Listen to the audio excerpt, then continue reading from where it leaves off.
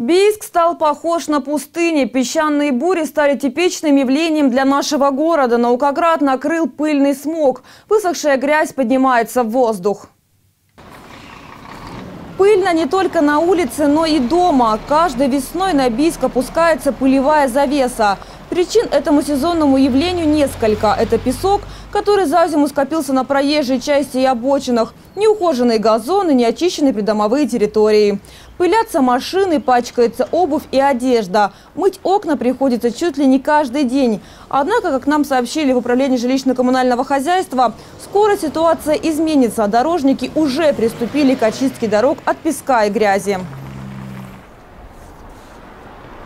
Кроме того, бичане жалуются на то, что в городе просто нечем дышать. И небольшого дождя, который хотя бы прибил пыль, люди ждут с нетерпением. Как еще можно исправить ситуацию, горожане рассказали нашему корреспонденту. Это не пыль, это погода такая.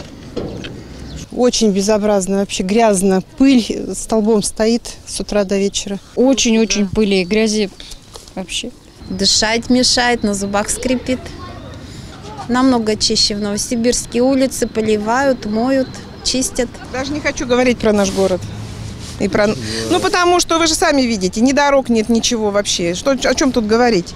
То есть пыль это только малая? Конечно, конечно, только вообще... Была бы дорога. Была бы дорога, не было бы пыли. был. Ну где еще, в каком городе вы такое найдете картину? Интересно спросить.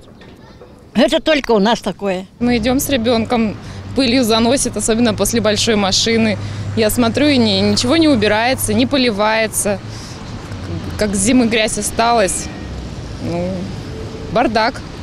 Она стоит, она круглый год стоит, а что с ней делать? Поливать надо, убирать надо, мыть надо. Ну, а кто будет это делать?